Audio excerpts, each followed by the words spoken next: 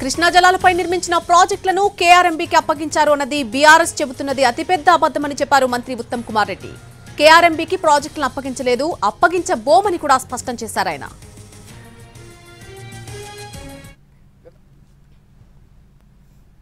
నేను ఈరోజు శాసన సభ ద్వారా యావత్ తెలంగాణ ప్రజానీకానికి తెలియజేస్తున్నా తెలంగాణ రైతాంగం తెలియజేస్తున్నా ఈ ప్రభుత్వం రేవంత్ రెడ్డి గారి నాయకత్వంలో ఈ ప్రభుత్వం మేము కృష్ణా నదిపై ప్రాజెక్టులు ఎవరికి అప్పచెప్పలేదు అప్పచెప్పే ప్రసక్తే లేదు.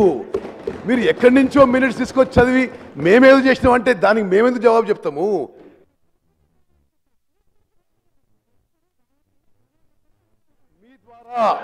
యావత్ తెలంగాణ ప్రజానికాన్ని తెలియజేస్తున్నాం. ఇవాళ తెలంగాణలో కృష్ణా నదీ జలాల విషయంలో తెలంగాణకి అన్యాయం జరిగిందంటే ఆనాటి టీఆర్ఎస్ ప్రభుత్వం వల్ల. ముఖ్యమంత్రి గారు చెప్తున్న విషయం నేను మళ్ళీ రిపీట్ చేస్తున్నా.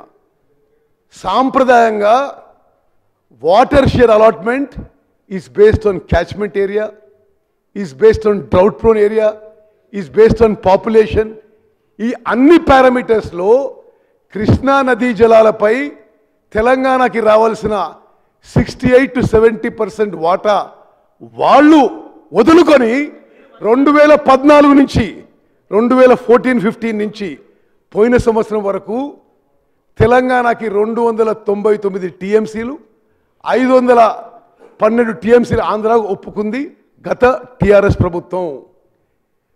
ఈ వాటా ఒప్పుకొని శాశ్వతంగా తెలంగాణకి అన్యాయం జరిగింది మీ ప్రభుత్వంలోనే. ఇప్పుడు ఇది నేను చెప్తున్న విషయం కూడా కాదు. నామా నాగేశ్వరరావు గారు నిన్న పార్లమెంట్ను అడిగిన ప్రశ్నకి కేంద్ర ప్రభుత్వం ఇచ్చిన జవాబు ఆనాటి రెండు ప్రభుత్వాలు ఒప్పుకున్నాయి. This is the biggest KCR గారు ముఖ్యమంత్రి ఉండగా తెలంగాణ రాష్ట్రానికి అన్యాయం చేస్తూ ఆంధ్రప్రదేశ్ ప్రభుత్వం రాయలసీమ లిఫ్ట్ ఇరిగేషన్ స్కీమ్ కింద ఎనిమిది TMC per day eight TMC per day తీసుకుపోవడానికి తీసుకుపోవడానికి వీళ్ళు అను